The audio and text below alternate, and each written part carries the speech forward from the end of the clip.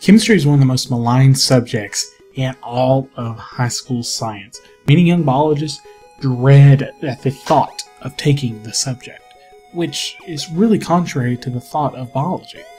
In reality, chemistry explains what happens in biology. And today we're going to focus on the key aspect of chemistry, a very fundamental, very simple look at one of the most key points of chemistry the atom. This is Big Orange Biology. I'm Mr. Jennings, and class is in session. So today we're going to talk about the atom. Now, the atom is the smallest particle of matter that retains the element's unique properties. Now, the atom is made of three components the proton, the neutron, and the electron. Now, the proton and neutron are located in the nucleus, and we're not really going to focus on that today. Reason being is, for most purposes in chemistry, the proton and neutrons, at least for our level of biology, eh, we talk about them radioactive dating, so we're going to kick those things out. But we're going to talk about the electron. Now, the electron is a negative particle found in the electron cloud. It is tiny, it is lightweight, and it is impossible to detect where its exact location is. That's why we call this electron cloud. Alright, so we care about the valence electrons because they determine the atom's chemical reactivity. Now, the number of valence electrons are going to see how many chemical bonds are going to form and how many electrons are potentially going to be transferred. Now, we care about chemical reactivity because chemical reactions are really what we like to study a lot in chemistry, and especially the biology side of chemistry. Now, what happens during a chemical reaction is there is a chemical change. And that is because there has been a breaking and forming of the chemical bonds. Now, there are two main types of chemical bonds covalent and ionic. Now, covalent and ionic bonds are relatively simple concepts. Uh, covalent's all about the sharing of electrons, and ionic's all about the transfer of electrons.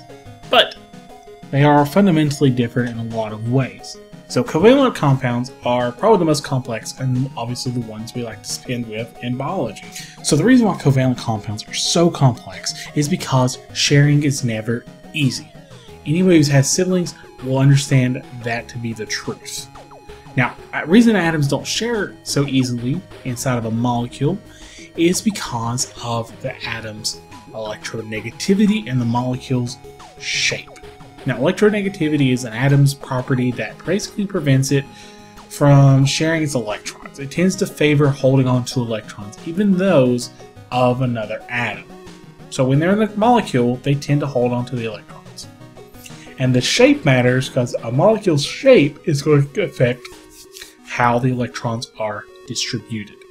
So atoms that have high electronegativity combined with a unique molecular shape are going to result in some really what we call polar molecules because they have a positive end on the bottom or wherever the electrons are no longer there and a highly negative end on the side that's favoring the electrons towards the electronegative molecule.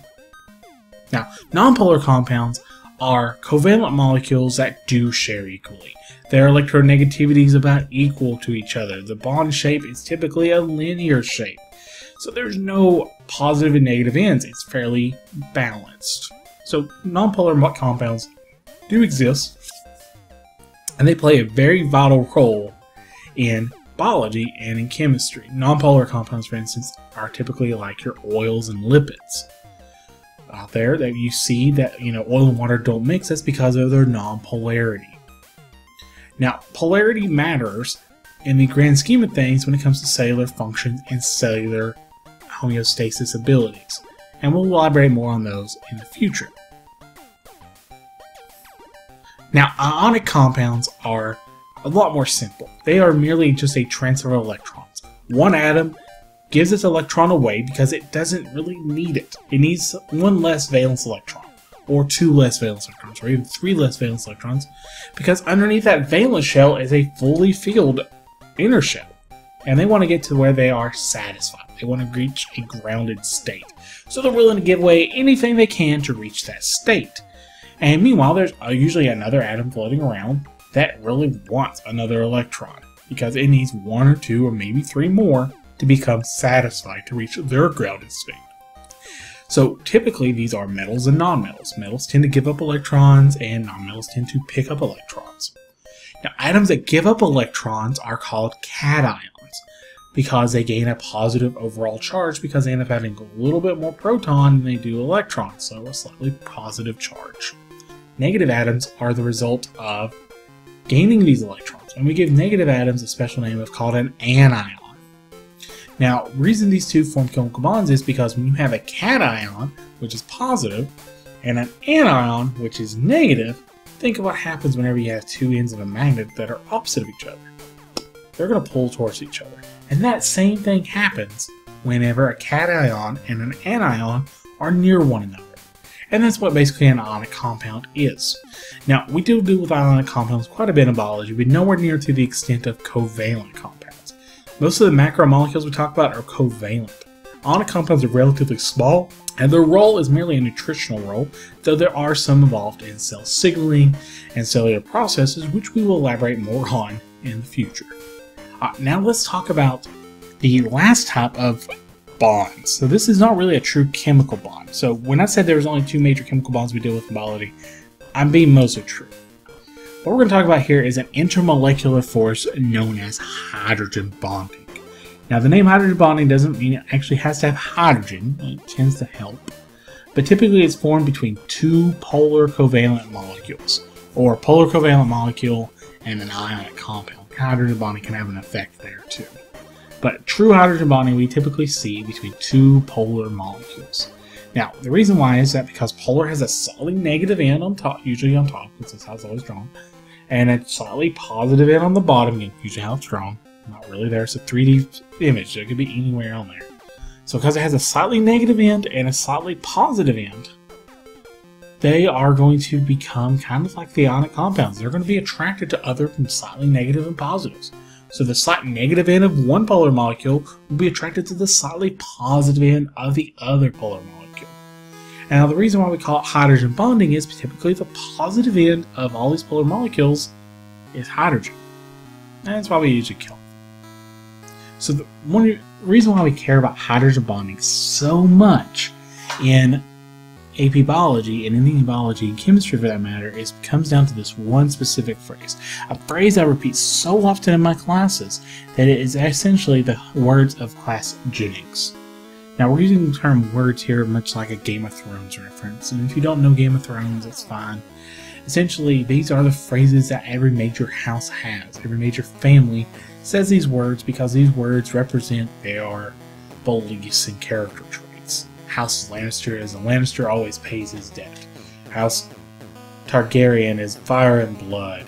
And House Stark is winter is coming. Famous phrases, they're great to put on t-shirts, they're fantastic.